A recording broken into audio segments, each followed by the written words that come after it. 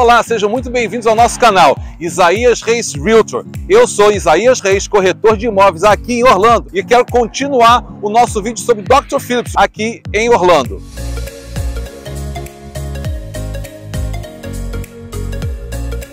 Dr. Phillips é isso, é uma variedade. Aqui a gente está na frente do Starbucks e lado nós temos comida turca. Você gosta de comida turca? E aqui vamos chegar à beira do Sand Lake.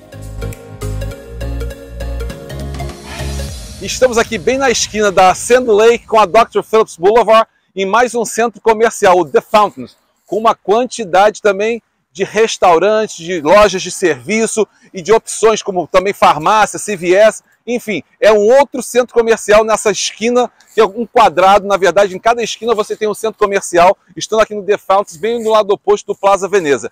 Então aqui, olha, tem o, o, o Vines, bem ao lado está lá o, o, Coffee Shop, tem o Steak on Fire, que é um restaurante brasileiro, ou seja, na verdade eles servem o, o steak, né, o, a carne de gado no pão, né? bem ao lado está o Chronic Tacos, tem o Melting Pot, que é uma cadeia também muito conhecida, principalmente para fondue, é o, é o, forte dele é o fondue, lá Fondue Restaurant, também escrito ali no próprio título. Tem mais à frente comida tailandesa, ou seja, o Thai. Ao lado também vamos ter lá o Tropical Café, ou seja, é um, é um, é um centro comercial que é exclusivamente, não exclusivamente, mas na sua maioria é composto de restaurantes e opções de, de alimentação de forma geral. É, também temos ali é, é, umas lojas de computador, de spa também, mas o forte deles é, é, a parte de restaurantes. E aí no finalzinho já tem o Wild Fork, que é uma, uma área de comida de seafood, ou seja, frutos do mar. E aí ao fundo temos a CVS, que está bem ao lado oposto da, do Venezia Plaza, onde tem o seu concorrente maior, que é o Walgreens, e nós vamos mostrar também lá. Aí saindo do The Fountain, do lado oposto da esquina aqui da Sand Lake com a Dr. Phillips Boulevard, nós temos o Plaza Venezia. Entrando bem aqui o Plaza Venezia, que é onde tem um outro Publix, aqui em Dr. Phillips também, além de uma quantidade de restaurantes aqui nessa parte da cidade.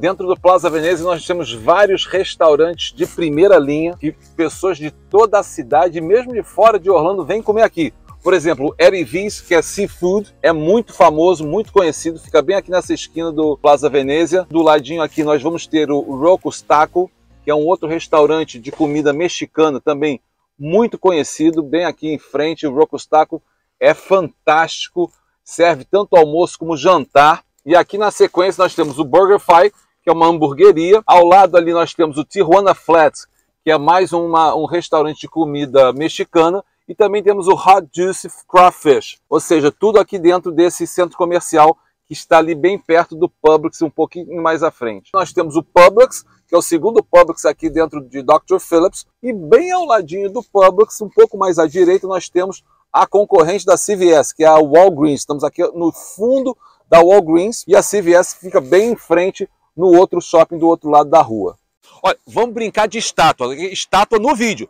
Para tudo e dá teu like, se inscreve, encaminha esse vídeo para aquela pessoa que você sabe que precisa desse conteúdo. É um conteúdo de qualidade, então já deixa também um comentário, aproveita e deixa um comentário para a gente e nos diz se você está gostando do que você está vendo. Continuamos então aqui no Plaza Venezia, o Walgreens agora na frente dele, já na pontinha, já chegando na esquina da Dr. Phillips Boulevard. E o interessante do Plaza Venezia é que ele conecta ao próprio Plaza Venezia do outro lado da Dr. Phillips, no mesmo lado da calçada, ou seja, são duas esquinas da Dr. Phillips Boulevard com a Sand Lake de Plaza Venezia. Agora nós estamos indo de um lado para o outro, bem aqui na entrada do outro lado tem o Wells Fargo Bank, mas antes de nós entrarmos ali, eu quero te mostrar um dos restaurantes mais conhecidos e topo de linha aqui de Orlando, tá? E principalmente nessa Restaurant Row, que é o Seasons 52 está bem aqui, ele fica bem na Dr. Phillips Boulevard, no finalzinho, e dá costas para o Sand Lake, ou seja, o Lago de Areia, na tradução livre. Aqui está a entrada do Seasons 52, que é um restaurante muito top. Você que gosta de comer bem, pode vir aqui que você vai amar a comida do Seasons 52. E continuando aqui dentro do Plaza Veneza, do outro lado da Walgreens, nós temos o Cedars Restaurant, comida é, mediterrânea, né, cozinha mediterrânea. Do lado tem o Madras Café, que é vegetariano, ou seja, você que gosta de, de, de comer comida vegetariana, tem essa grande opção aqui. Em frente tem o Fresh Co, que é uma opção também de sucos para quem gosta. E bem do ladinho tem o Safrão, que é um restaurante indiano também. Safrão Indian Cuisine. E aqui continuando, nós temos outra quantidade de restaurantes. Mais à frente nós temos o, uma, um restaurante japonês, que é um steakhouse. No finalzinho, lá no fundo, que já fica do outro lado, no outro centro comercial chamado Finícia Center, tem o Barnes Nobles, que dá para ver bem no fundo lá. Ainda aqui no Venezia Plaza nós temos o Panera Bread, que é conhecidíssimo.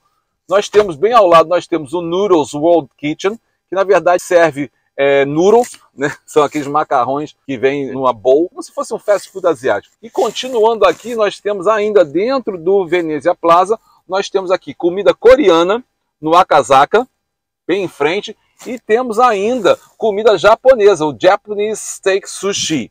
E aqui nós temos o Barnes Noble, que não está no Venezia Plaza, ele está no Fenícia Center, que é do outro lado da rua. Ou seja, os centros comerciais aqui se comunicam.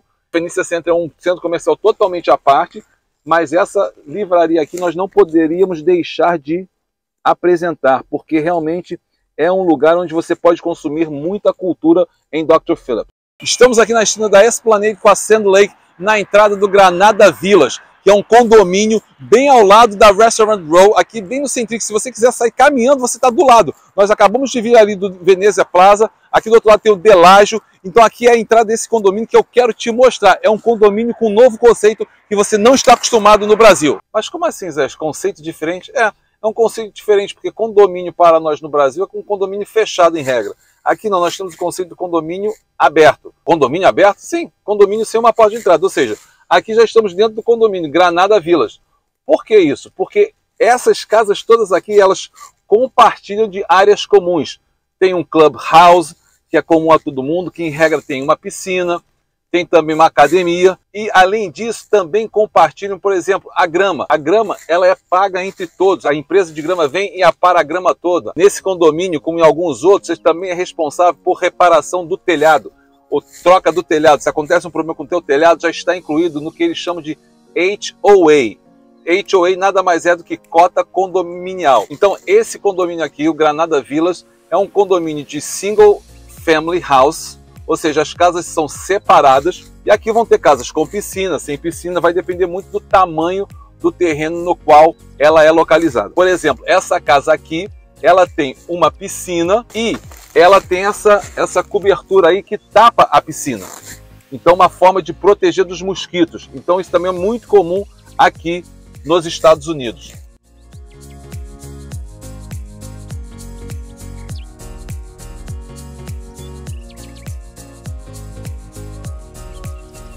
Não fica triste, meus queridos. Olha só, já estamos chegando ao final do vídeo, mas antes de terminarmos, vou deixar a mensagem que você já sabe que é se inscreve no canal, você está gostando do, do, conteúdo, então se inscreva, porque é importante para que nós possamos estar trazendo mais conteúdo para você. Também encaminhe esse vídeo para as pessoas que você sabe que precisa desse conteúdo, que gosta desse tipo de conteúdo, que consome esse tipo de conteúdo. E já dá também um like, o like é importante. Se você está gostando, dá like. Faça comentários também para que nós possamos estar trazendo o que de melhor vai te agradar aqui sobre Orlando, na Flórida. Não somente na parte imobiliária, mas também na parte de infraestrutura e vida na Flórida. E até o próximo vídeo. Estou te aguardando.